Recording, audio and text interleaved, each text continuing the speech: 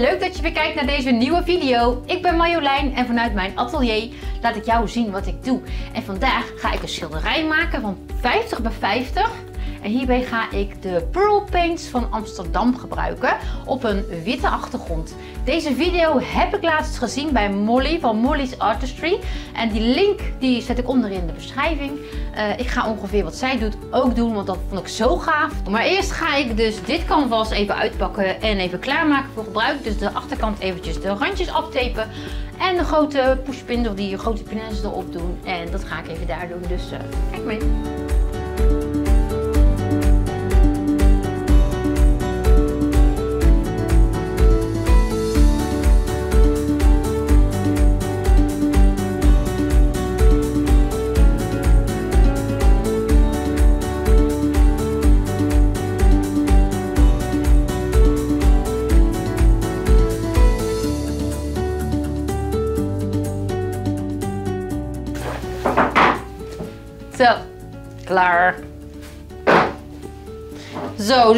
Even mijn kleurtjes pakken en dan ga ik eens even mixen. Want ik heb helemaal niks meer op voorraad. Nou, voor dit schilderij gebruik ik de wit van Amsterdam. Dit is gewoon de titaanwit van Amsterdam. Ik gebruik de oxidezwart van Amsterdam. En van de Pearl Paints, dat zijn deze, gebruik ik alleen de paars, dus de violet variant en de blauwe variant. En die had ik hier dus van de week of een tijdje terug al gemixt. Ze zitten hier al in. Dat is de blauw en dit, dit is de violet en dit is de blauw. Dus die heb ik al gemixt. Deze verf ga ik mixen met mijn Owatrol Floatrol. Ik gebruik daarvoor dus één deel verf. En daar doe ik twee delen floatrol bij en één deel water. Nou, ik ga nou dus even de verfjes mixen. Ik ga vandaag een schilderij maken die ik niet zelf heb bedacht, want ik heb het gezien op YouTube.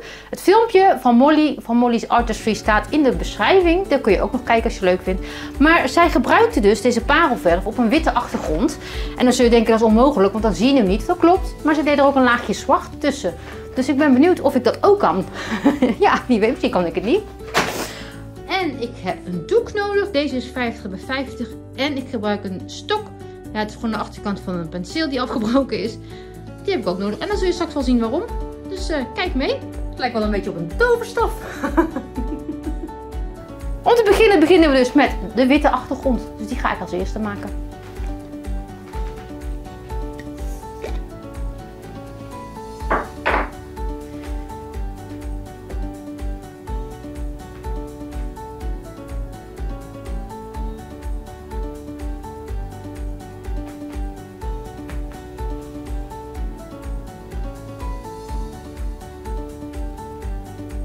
exemplo,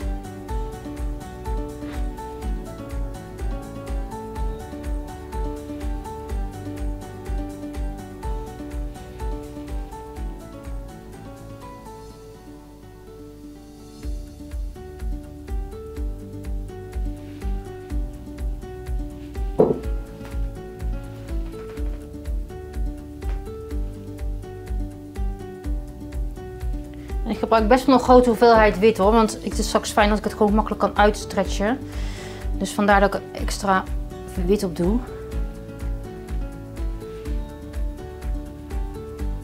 Vind ik gewoon fijner.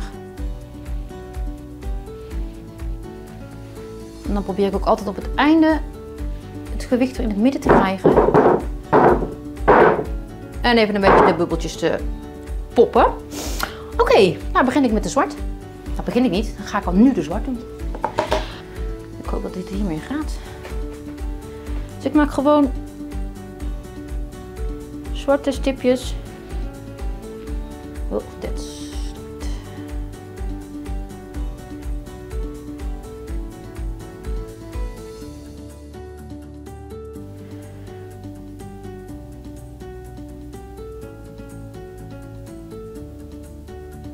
Met geduld kom je heel.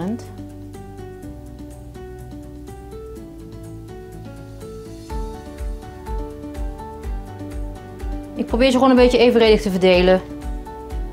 Er is geen goed of slecht met dit. Hè. Het is gewoon eigen interpretatie. Het zou fijn zijn als ze een beetje rond zijn, maar dat lukt bij mij niet altijd. Dan moet de verf dunner zijn. Ik heb iets te dikke verf voor dit. Maar...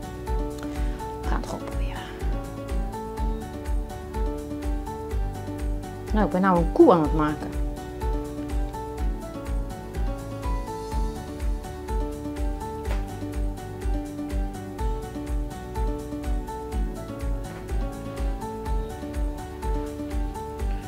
Hier nog eentje.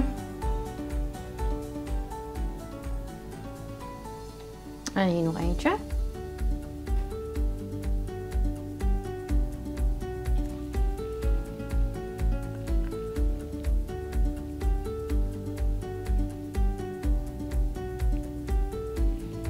Nou, deze zijn dus voor nu gedaan. Nou zie ik dat ik hier een beetje uh, zwart heb gemorst in het wit. Dus gewoon eventjes zo erop met je vinger is het weg. En hier ook. En hier. Maar straks zie je er uiteindelijk niks meer van hoor, maar toch. Zullen we er eentje doen?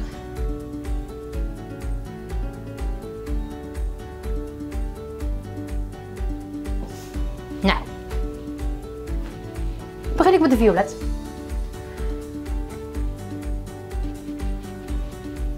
Dit is de violet. Die ga ik hier overheen doen. Een beetje veel misschien.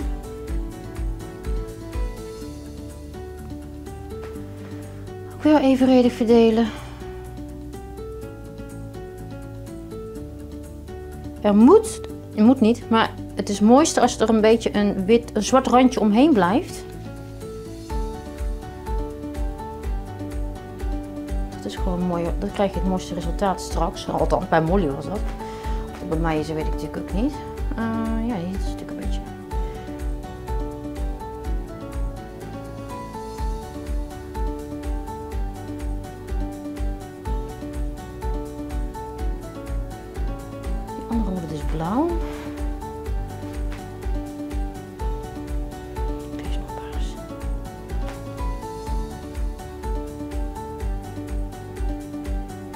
moet ik straks een blauwe werk bij kopen. Aan de overige, en nu kijk ik eventjes, check ik of dat de kleurtjes een beetje goed verdeeld zijn. Nou, dat is goed. Er zitten wel heel bubbeltjes in. Dan ga ik er gewoon even met de brander overheen. En nu zie je dus nog niet dat de kleuren erin zitten. Je ziet een heel klein beetje een glans. Maar dat is dus die parelverf. Ja, dat is gewoon heel bijzonder. Dat is gewoon echt hele bijzondere verf. Maar dan zie je het beste op een zwarte ondergrond. Maar het is natuurlijk wel heel mooi ook op een witte ondergrond. Maar dan zie je ze niet. Dan doen we er een laagje tussen.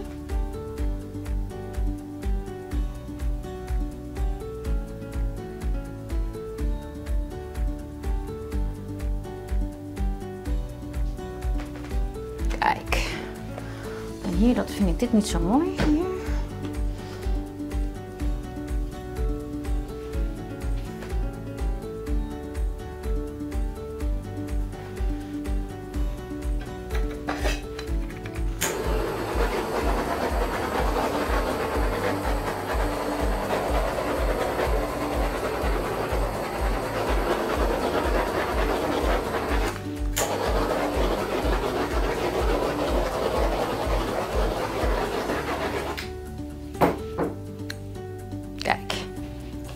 Dat bedoelde ik.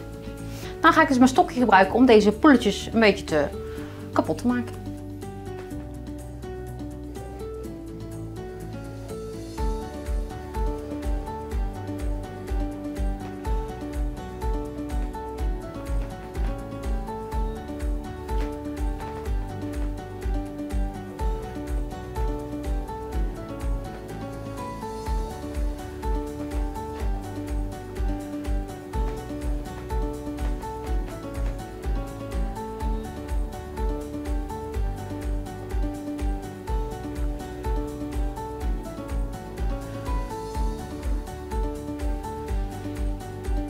Keertje.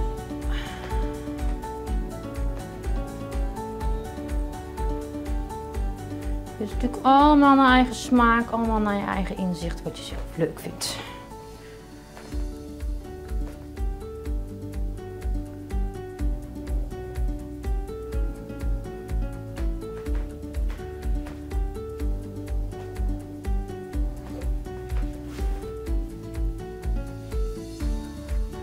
Kijk.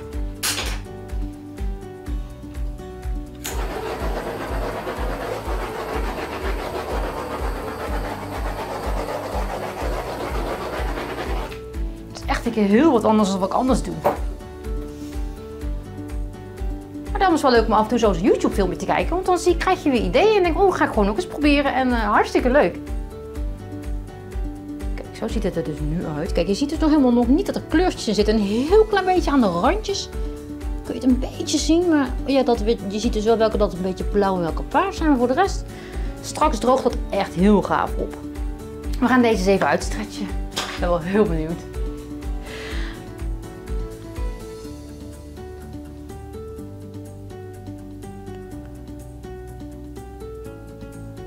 Best wel veel verf gebruikt hoor, dus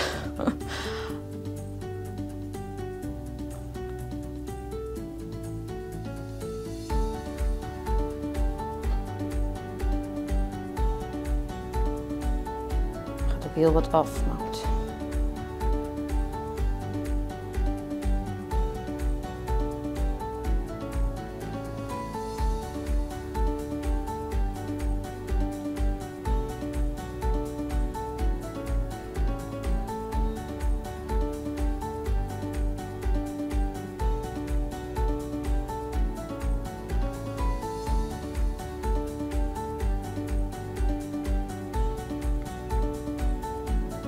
Nou je ziet de kleuren, kleuren echt wel.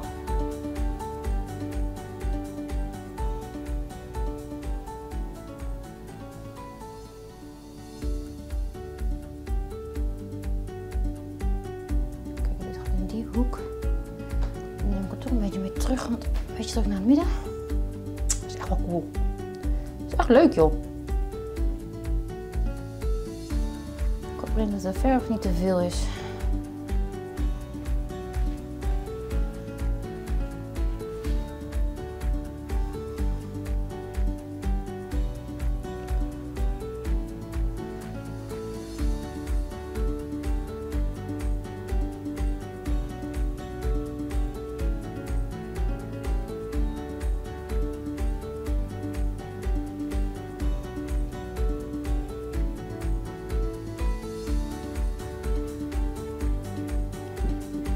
Zo. Hij is cool geworden.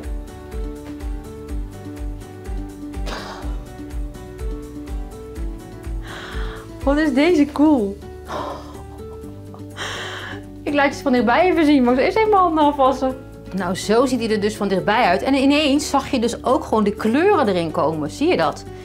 Blauw en paars. Je kunt het met alle kleuren doen hoor, maar ik vind het gewoon wel mooi om twee kleuren te gebruiken. Het wordt zo'n kermis. Uh, Wauw. Echt mega cool. En ik hoop, uh, als je nog opdroogt, wordt hij dus nog feller. Hè? Dan worden de kleuren echt heel gaaf. Oeh. Wat is dit cool. Oh, en zoveel mogelijkheden wat je nou hebt. Hè. Oh, wat gaaf. Ah, ik ben gewoon helemaal blij. nou, inmiddels zijn we, ik denk, een week verder. En hij is droog. En kijk eens hoe die opgedroogd is. Hij glimt echt heel mooi. En zo zie je dus maar dat je als je er een, uh, een laagje uh, zwart tussen doet, dat het gewoon gaat met die parelverf op een lichte achtergrond. Dus er zijn echt nog heel veel meer mogelijkheden om dit toe te passen. Maar dit is echt al heel goed gelukt. ik wil nog zeker gaan vernissen en dat zie je dus in mijn atelier vlog. Dus tussendoor voor de mensen die alleen deze video's kijken. Ik maak ook atelier vlogs. Dat is, eigenlijk heel de week wat ik tussendoor doe. Tussen mijn schilderen door. Dus ook dingen die persoonlijke dingen. Wel dingen die buiten het schilderen. Uh, laat ik allemaal zien in mijn atelier vlog. Dus ook altijd wel leuk om eens te kijken. Dus dan zie je ook dat ik deze ga vernissen. Dat komt in de atelier vlog. Ik ben heel erg blij met het resultaat. En um, vind je het leuk om nog meer van deze video's te bekijken? Abonneer je dan zeker op mijn kanaal. Uh, like deze video en laat een berichtje achter. Dat vind ik altijd heel leuk om te lezen. Ik wil jullie hartstikke bedanken voor het kijken naar deze video. En ik zie je graag de volgende keer. Houdoe!